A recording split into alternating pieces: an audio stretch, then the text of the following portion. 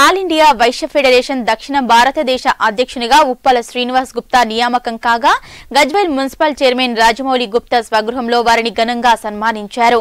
ఈ సందర్భంగా వారు మాట్లాడుతూ టీఆర్ఎస్ ప్రభుత్వానికి రైతుల పట్ల చిత్తశుద్ది ఉందని తెలిపారు. దుబ్బాక ఉప ఎన్నికల్లో భాగంగా ఆర్య వైశ్యుల చైతన్యం పరిచేందుకు నేటి నుంచి ఉప్పల శ్రీనివాస్ గుప్తా ప్రచారం చేపడుతున్నారని లక్ష ఓట్ల మెజారిటీతో తెరాస ప్రభుత్వం గెలుస్తుందని ధీమా వ్యక్తం చేశారు. ఈ కార్యక్రమంలో వైశ్య నాయకులు ఉప్పల మెట్టగోల సంతోష్ భిక్షపతి మరియు సత్యనారాయణ నంగునూరు సత్యనారాయణ తదితరులు పాల్గొన్నారు. రాబోయే ఎలక్షన్ దుబ్బాక కాన్స్టిట్యున్సీలో మొన్ననే చనిపోయిన రామలింగారెడ్డి గారు అనుకోని అనుకోని పరిస్థితుల్లో పాపం ఒక మంచి నాయకునిగా ఒక జర్నలిస్టుగా ఆయన జీవితాన్ని ప్రారంభించి రీసెంట్గా ఆయన చనిపోవడం అందరికీ కూడా బాధేసింది. ఇవాళ కేసీఆర్ గారి నాయకత్వాన్ని బలపరుస్తానని చెప్పి ఇవాళ దుబ్బాకలో ఉన్న దాదాపు పదిహేను వేల మంది ఓటర్స్ అంతా మన వైశ్య ఇండ్లన్నీ ఇలా మొత్తం వన్ సైడ్ కేసీఆర్ గారు ప్రభుత్వాన్ని బలపరిచే విధంగా ఇలా టీఆర్ఎస్ పార్టీకి ఓటేయాలని చెప్పేసి నేను కోరుకుంటాను ఈరోజు చాలా సుదినము.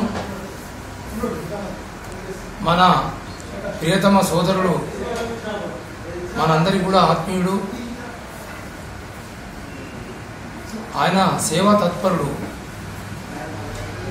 వైశ్యకులాభివృద్ధికి కంకణబద్ధుడై ఎక్కడైతే ఏ వైశ్యుడు ఆపదలో ఉంటాడో ఆ ఉన్న వ్యక్తికి తానున్నానని అభయమిచ్చే ఒక ఉదార్త గుణం గల వ్యక్తి మన ఉప్పల సీనన్న గౌరవ కౌన్సిల్ సభ్యులు మెట్టేబాబు గారు అలాగే వారికి మరి ఒక మరి ఒకసారి ప్రతి గౌరవ వైశ్య సోదరికి నా హృదయపూర్వక నమస్కారాలు తెలియ మూడు మన రెండు రాష్ట్రాలకు కూడా అధ్యక్షుడిగా ఐయుఎఫ్గా ఉండి ఎన్నో సేవలు చేసినటువంటి సీనన్న మరి అది గుర్తించి మరి ఈ ప్రాంతానికి ఈ దక్షిణ ప్రాంతానికి మొత్తానికి కూడా ఒక జనరల్ సెక్రటరీ ఇవ్వడం మనకెంతో ఆ, ఆనందదాయకం. ఇటువంటి మనుషులు మన కులానికి సంబంధించి ఉండాలి.